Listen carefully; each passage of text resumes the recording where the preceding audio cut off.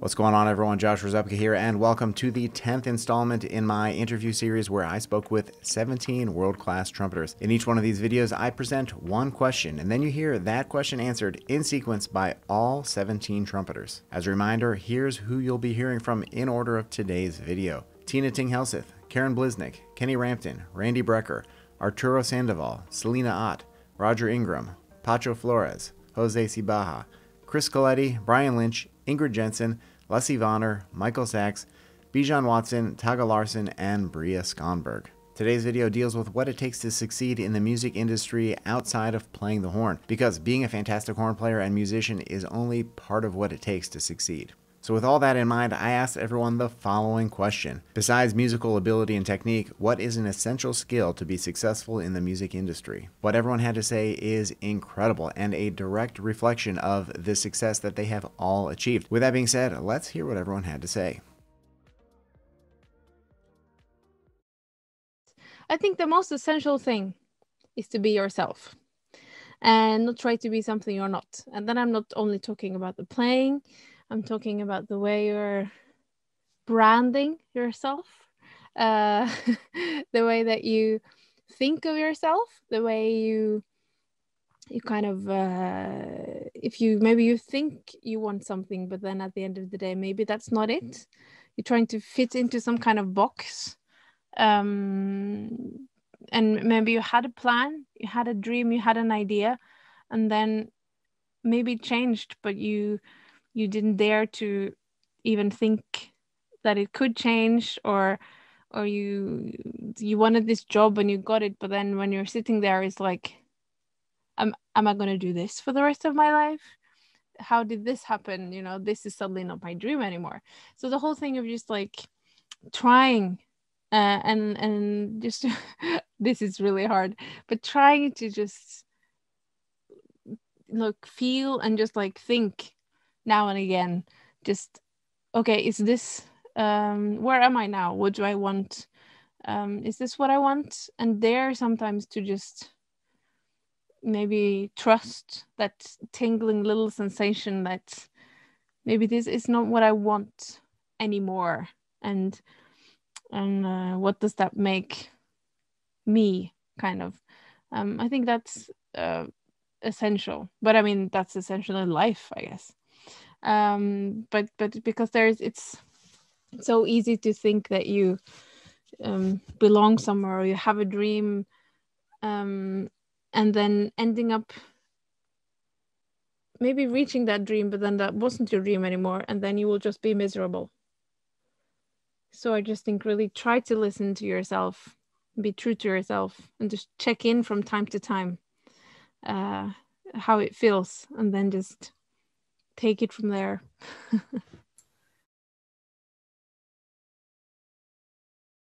I mean, number one has to be be be kind. I mean, it's I tell all my students, you will inevitably run into people that you have met at some point in your career, whether it be at a master class, whether it be at ITG, like us, um, and you don't know. I, I think this is maybe slightly of a three part answer, right? So being nice to one another because it first off, this is a small community. You know, you're you will see each other um, and you will work together. And when there are a bunch of people that are working to create a community, it's a much stronger position. We already kind of know that, right? The next the next part of that would probably be being being humble. But that kind of is paired with being curious. Because, for example, you know, in the orchestra, you have an opinion as to how something should go um, it's likely that maybe someone in my section actually also has an opinion as to how something should go, right?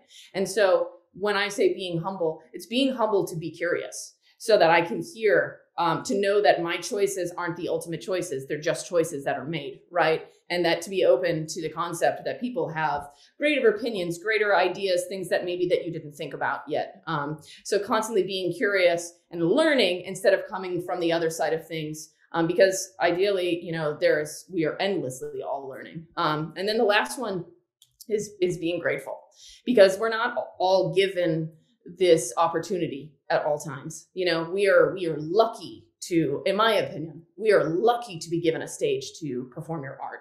Um, and if you can focus, I think, on those things as being like the core values of being a good musician in this musical community, I think that you'll you'll get very far. And if not, you will just make fabulous friends in the process um, and learn so much from one another.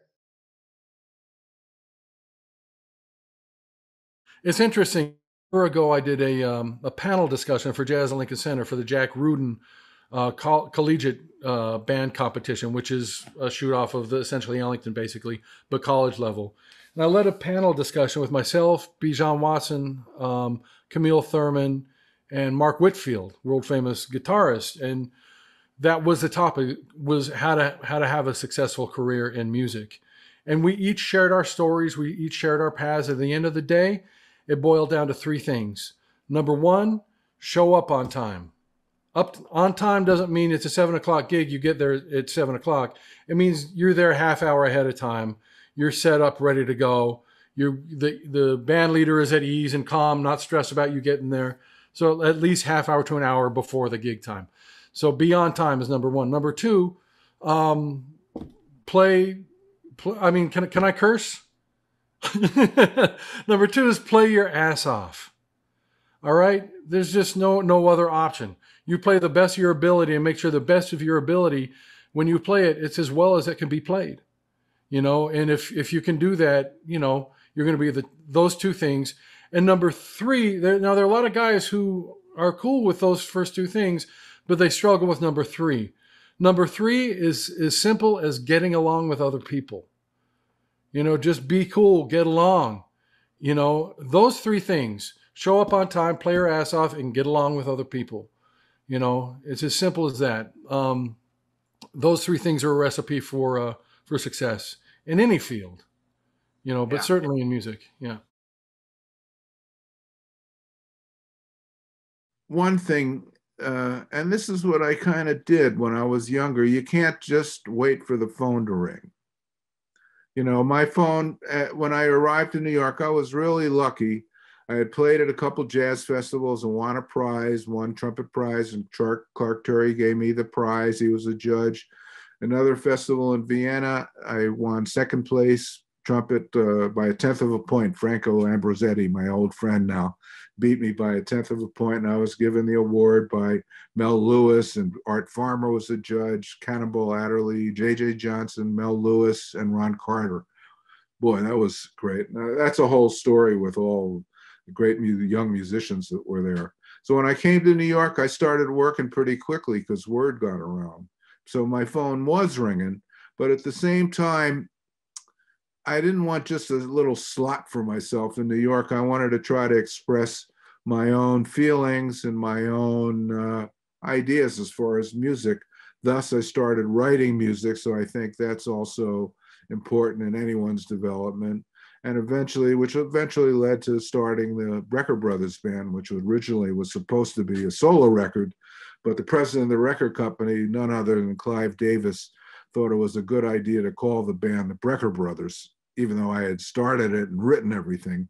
And I procrastinated for about a week, but it was such a good opportunity to get on in on the uh, beginnings of Arista Records, which was formerly Bell Records. I said, okay, call it the Brecker Brothers, but there's going to be a third horn because I had Dave Sanborn out front too. So he, I told Clive he could pretend to be the long lost cousin, but it was a good name. It caught on, but really create uh, uh, net. I guess the current words are. I would always be out on the scene, but when I was younger, not all because I wanted to hear the music, but I wanted to make uh, connections. You know, I, I, mean, Monk talks about that, you know, even being on the scene. Now, of course, there are all the social uh, networking sites. I guess uh, I don't, I just can't bring myself to do it, but a lot of uh, young musicians, and it seems to work to gain fans. It's something you unfortunately have to do. It's probably distasteful to a lot of good musicians but really, the main thing to do is just play as good as you can, keep getting better. Ask to sit in, start your own bands, go to rehearsal bands, start writing. That's exactly what we did. We had a kind of a fusion rehearsal band with myself, my brother, Don Grolnick, Will Lee, Chris Parker, and Steve Kahn. Some guys were writing. Chris uh, uh, was writing a lot. Steve Kahn was writing a lot, and that developed into being the Brecker Brothers band. A good person,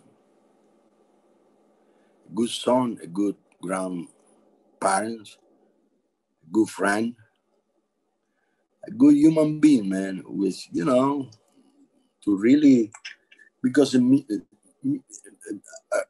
music is, is the, a, a way to share our feelings with people. And if your feelings are good, your music gonna be good. If you are a bad person with horrible feelings, that's what you're gonna give to the audience. That's no good.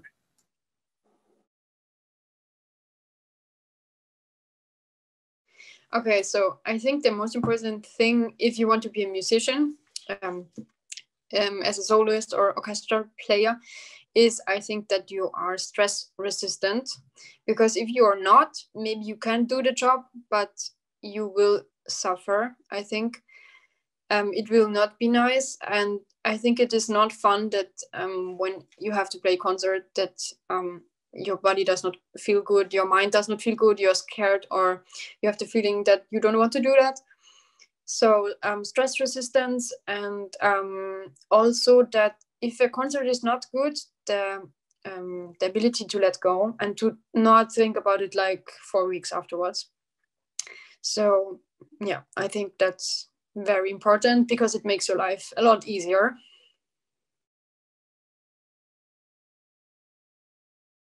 First of all, you got to be able to play at least to an acceptable level to where, I mean, where you can go into any gig and read it down, or if you got to play a solo, you can play a solo and you can play in tune. I mean, I mean, to be able to have good basic musicianship skills, being able to play comfortably in every key, uh, at uh, in every dynamic level, uh, and be able to be comfortable playing at any tempo, and be able to play in tune, and to observe dynamics, and be able to listen to other players, and to be able to play, you know. So your basic skill set. Let's just assume that you have all that together, and that that you can go in and then do any of these gigs. Well, then why do some people get hired and some people don't? and we're, we're, assuming that we can all do that, we all are trained and we can go in and do these gigs. It's because you know, part of my language, some people are assholes and some people aren't, and you can't go in being an asshole. And you, you got to be able to get along with people, and you got to be able to just spend a little bit of time uh, establishing uh, a rapport and some sort of a social relationship with people. I mean, when when all those years I was on the road, someone would leave the band. Well, the first thing we would think of who's the best player we can get. And then the second thing that we'd think of is as like now now we, we got to live with that person on a bus for about 10 months out of the year. So that was a big deal. Who can we get out here that we can tolerate? Or who can we get out here who's going to be able to tolerate us? You know, so your the personal thing is a is a big deal. A lot of people say, "Man, you know, I'm as good as that person. How come I'm not working?" Well, there might be reasons for that. You know, the very fact that you're even a- asking that question puts people off. You know, you want to say, "What can I do for you?" let's like you know hi mr mr joe band leader um how can i make your band sound better? What can i do for you? You go in with that kind of an attitude and you're going to work and you're going to be involved. You you almost you can't even think about it as working. You just want to be involved. I think it might have been Chuck Findley because I've known him ever since I was a teenager. I think it was him who said to me early on, I said, here's the three magic steps of the music business. Show up, shut up, and play your ass off. And then when you're done, say thank you and go home. You know, it's kind of like, yeah, um, see. Let, let me see that question again. Um, besides musical ability and technique, what would you say is an essential skill to be successful in the music industry? Be interested, be there to serve, and and be nice. Be a nice person, you know, and and know when to shut up. Never miss an opportunity to keep your mouth shut.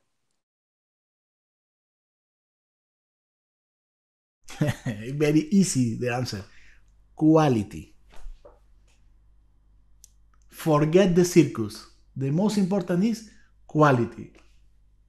It's the most essential. No, you tell you tell me essential.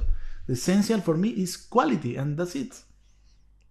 You wanna be, you wanna record a CD. You have to think in quality with the cover, with the recording, the technicians, the orchestra, the, the music, the publisher, everything. Everything has ha, needs quality.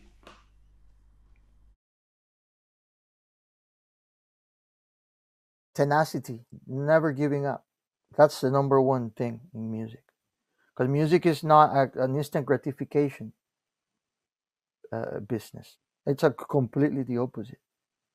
You will practice and you will practice and you will put time in and put time in and you will uh, uh, nurture context and you're this and that and blah blah blah. And sometimes it takes years for all those things to blossom if they blossom. You, you can't take no for an answer. No needs to be a a, a um a vehicle of motivation i know people that are that are i mean their tenacity is their their their last name I have this is something I have to work on, well, especially not in the music part of it. To me, that's you know I'm just that stubborn with that. But in the side in the business side of things, that's something I struggle with all the time. That's why I say when I was a younger, I wish I would have had more influence in the business side of things.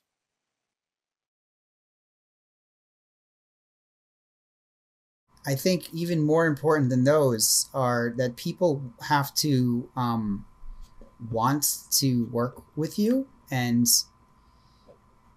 there you could you could actually influence you could change that about yourself. Even if you're not somebody that's necessarily popular that doesn't really matter actually. But um i'll tell you a story about caleb hudson. When i was playing my recital for my masters at juilliard i wanted to play a piece that had a big brass thing it was actually the bach vivaldi that german brass arranged and then i they don't sell it so i transcribed it and we played that for slightly different instrumentation. And in the rehearsal, in the second movement, there's like that trill where the tr- first and second trumpet are in, in uh, thirds, and the trills should be lined up nicely. And everybody was sort of just sight reading. These are all just friends. And he actually was less close with him than the other people. We were sort of a different age. He was a freshman, I was a, or second year sophomore, and I was a second year master's. And he looked over at my finger in rehearsal and was like lining the trill up just right. And I was like, shit, he came prepared for my recital. This is awesome. And this was the rehearsal, the first rehearsal. And this was like an arrangement I'd written out myself. But it was like in that one moment, right? This was at this point, this was 12 years ago. 12 years ago, I remember it with crystal clarity. And when Canadian Brass needed a new trumpet player, I instantly thought of him. Now, of course, I allowed myself to be like, all right, well, let me think logically about this. But you can't ignore that gut instinct. And what was the gut instinct? In that one moment, he was able to demonstrate A, that he's obsessed with music, B, he's obsessed with perfection and the chamber music, and C, he was like, it wasn't his project. This was my project. This was my recital. It wasn't like I was paying him. And he showed that it mattered enough to him for him to sound good that it was going to elevate everything. And that wasn't, you know, a, a half note. And so that's the kind of stuff that matters. If you get hired for a gig and you make the gig better because you were there, that's good. I know, I mean, you could probably think of it's harder to think of them because they wind up getting lost, but they if they were taken off the gig, taking them out of the section, it wouldn't really matter, you know, it wouldn't necessarily be better or worse. That's not great. Obviously, it's horrible if you make the section worse, both playing wise or vibes, you know. I know so many people that on the freelance scene would always comp- kind of complain, but they were really bragging because they were trying to make it seem like they were. This was like one of the worst gigs they were doing. There was like better gigs out there. It's like I don't care. I, like I never thought about that. I'm like, we're getting to play Beethoven, man. Like I don't care. It's the worst orchestra I've ever played with in my life. The conductor's dead. I had a conductor I thought died on stage. He fell asleep in the middle of Beethoven three. I was just so happy to be playing Beethoven three up till that point. Then then it started to suck. but for somebody like me that I'm like so happy to just be playing somebody by Beethoven or whoever the composer is, to have somebody complaining, I'm like, I don't want to ever play with this person again, you know? So that's the definitely the most important, your enthusiasm and like elevating other people's projects because they're the ones that are going to hire you, not your teachers. I think being a good person, knowing that you're a part of a community and supporting that community. Um, you know, there there are things that that anybody will tell you in in you know 101 of the music business, like you know reliability, punctuality, those things, those kind of things. Saying that you're going to do, you know, doing what that you doing what you say you're going to do and doing it on time. Those things are important. Um, you know, I think that we all allow each other a lot of slack, but if you're the kind of person who really cares about everyone in your community and not just yourself and getting over and getting ahead, it's going to work out better for you in the end. You know, it's like coming on the scene, you're going to get most of your calls subbing for somebody. Now, you can go in and be a great player, but if you're trying to cop that person's gig right off the bat, you're probably not going to get called back. Right? So you don't you don't you don't, you know, be, be cooperation, you know, with with your peers. Trumpet players can be really cutthroat sometimes, but I've also felt that trumpet players can be quite a, you know, brother and sisterhood of of connected mutually supportive mu- musicians. This is something that i've tried to foster in, in my in my studio in my teaching studio. And i think the you know this is to me is what the the great players the the best players are always really down with each other you know? There's not there's not this kind of cutthroat competition kind of thing. I think when you see that is with the players that are maybe not the greatest players. So gravitate towards the good people. They're, they're, they're, those are the ones who are probably have the most to offer and are, and are going to be the most helpful to you.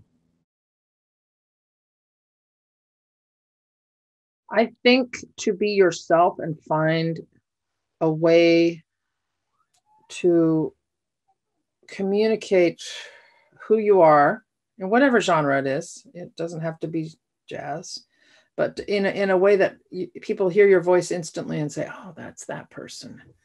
To to not try to copy something to the point of losing yourself but to look, use use rapid uh, use um what's the word? Um repetition and and and and copying someone to to benefit your technique but not to repeat what they did and that's again where the trumpet is so cool. There's so many sounds you can get out of it. And and for me to just like you know dig in and see who i am from a from from playing a um, what are they called? Concone? From doing a concone etude to playing you know a bud powell tune. Where in there do i lose me and just become um, kind of a generic sounding trumpet player and how can i not lose that? How can i from from the first breath connect with my instrument so that it's you know somebody outside walking down the street goes oh well that's I wonder what that instrument is. That's pretty. That doesn't sound like a trumpet but i think it's a trumpet right? And, and i i don't mean that as like disrespecting the tradition of great trumpet playing. I just i think that there's there's a way to still find a new path to do all of this. And the more the more that we do that and the less we try to fill someone else's shoes i think the better it is for our world and for our planet because it adds more character and more cultural influence and more you know more oomph as far as as people mattering.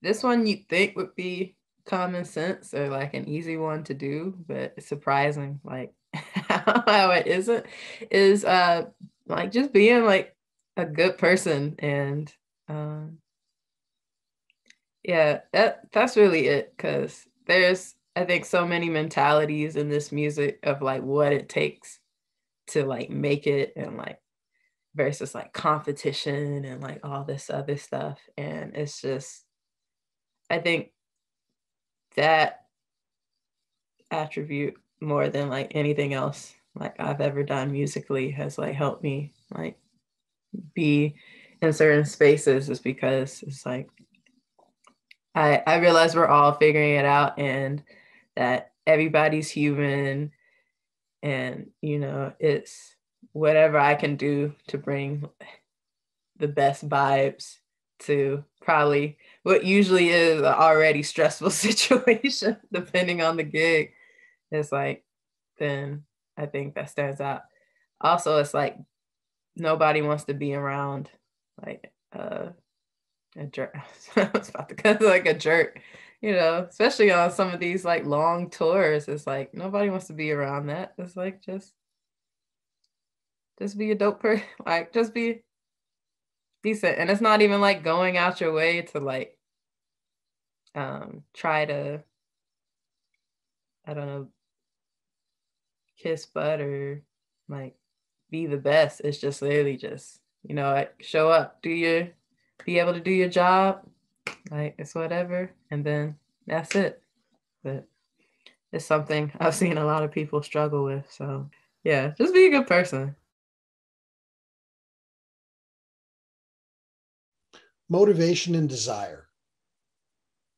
I'd say that, you know, you've got to be motivated no one's going to hand anything to you. There's a lot of people who would love to be doing this. I mean, it's it, it's it's a lot like professional sports. A lot of people would love to be playing, you know, pick your sport, professional, but you know, basketball in the NBA or you know, baseball in the Major League Baseball or NFL or you know, what have you, or or playing golf on the tour. But you've got to be motivated. You've got to be willing to, you know, assess yourself and figure out what are my strong suits and bolster them. What are my weak, you know, weaknesses and be able to figure out how to circumvent them and fix them.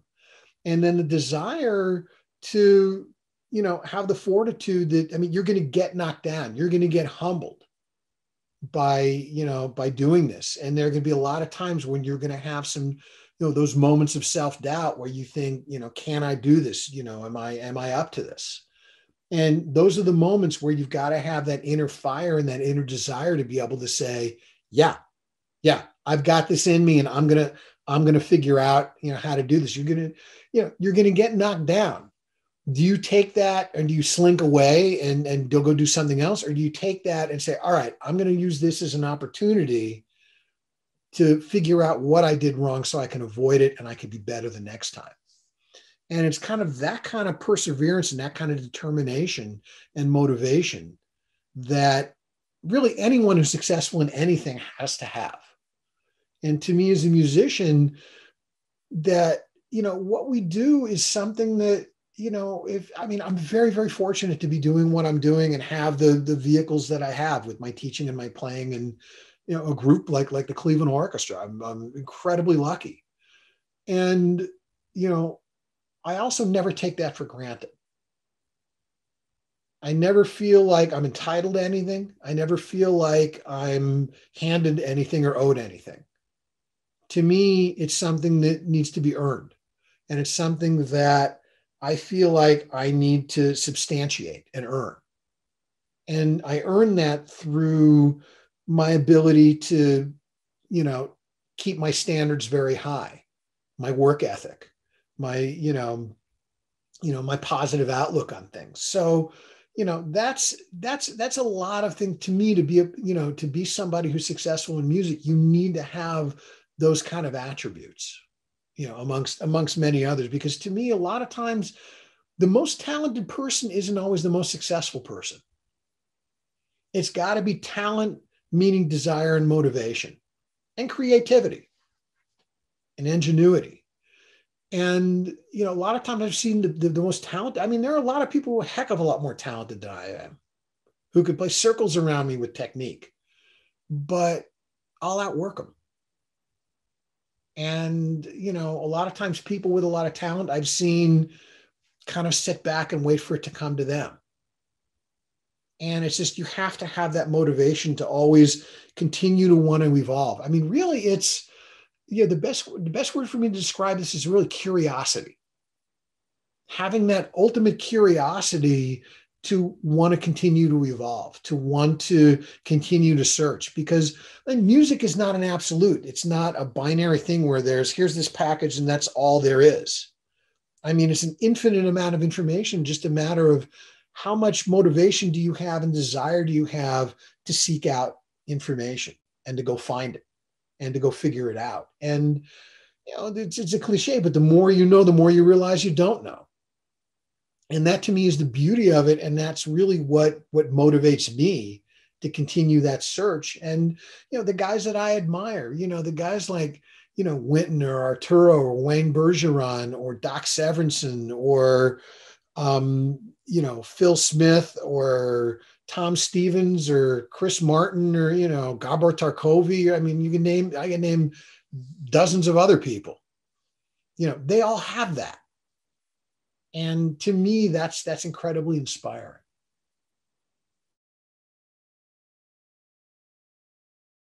You need to treat your craft as a business.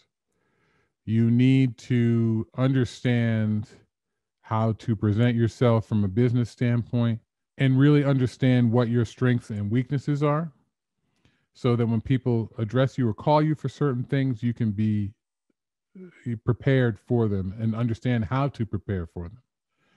Um, you don't ever want to be caught in a situation, especially in a recording situation or even in a musical and you're in the pit or something like that, and you know maybe it's beyond you at this point um, and so you have to really uh, treat yourself like a business and understand that and also set goals for yourself again. What what do you want to achieve? And and, and i think um, you know from another from another standpoint you have to set financial goals for yourself. This whole concept and i think it's been a disservice to a lot of musicians and my colleagues over the years several generations is this concept of it's okay to be a starving artist. And I think I mean if if that's what if that ends up being your, you know, and then starving is maybe a little bit much, but if you don't uh, if you don't have a plan or a goal for what you want to achieve, you know, you, listen, this this idea that you're going to be a a solo artist that's going to generate hundreds of thousands of dollars every year in revenue is um uh is is is possible. Anything is possible. But if you don't have a plan or a goal a realistic goal and understand about what your strengths are and how you can contribute then you will not achieve that. You just won't. People aren't just going to call you up and say hey you know that's not how it works. Um, works by building a community and um, I hate the word network, but friendships and mentoring with people that understand what you do and do well, and and building up a, a you know a, a, name for yourself that that that is authentic. So if someone says, "Hey, Bijon's a great lead player, you should call him for this," you know, you should uh, have earned that. Um, and and make the people that referred you proud that they referred you. um, so I, I, think that's important. Is not enough musicians, and I try and talk about this in my master classes and clinics and stuff. That you need to think think of yourself more as a business and really take stock in yourself and invest in your in the right uh, gear and, and and invest in your recording setup and invest in um, time in you know websites, understanding social media. You don't have to be on all the platforms, but you have to understand how they work you know so it's it's important uh, setting up a business uh, you know um, incorporating if you feel necessary. So it, that's that's the thing i think is the most important thing. A collaborative mindset. So going beyond just being a great player, working hard, practicing all the time, is realizing, you know, whatever situation is, that there's going to be someone there that's going to be better than you, someone that you might be better than, and uh, just going with the idea that you want to sound great as a section.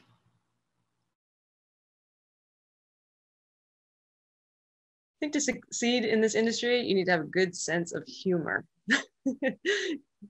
Just take it one day at a time and find the beauty, the hilarity in every situation because you'll find yourself in a lot of funny, funny situations.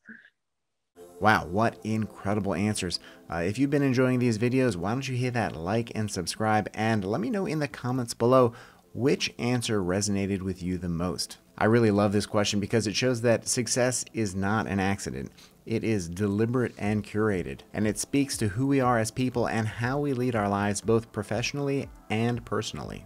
Now, I really resonated with a lot of this advice, so it's it's tough to pick just one as a favorite. But I will say, as someone who has toured, someone who has been on the road, uh, the point of being someone who is easy to get along with and you know low drama is so important. Now, today's advice will no doubt inspire and motivate us to greater success, and that leads us to the next question. What do you do to challenge yourself on a daily basis and stay motivated? Now, personally, I am stoked for this next one, and I am sure that what everyone has to say will inspire every single one of you. All right, that's all I've got for you today. I want to thank you for watching, and I will see you in the next video.